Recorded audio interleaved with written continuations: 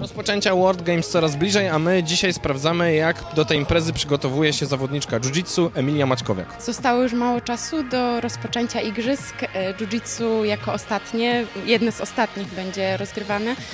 Moje przygotowania idą zgodnie z planem.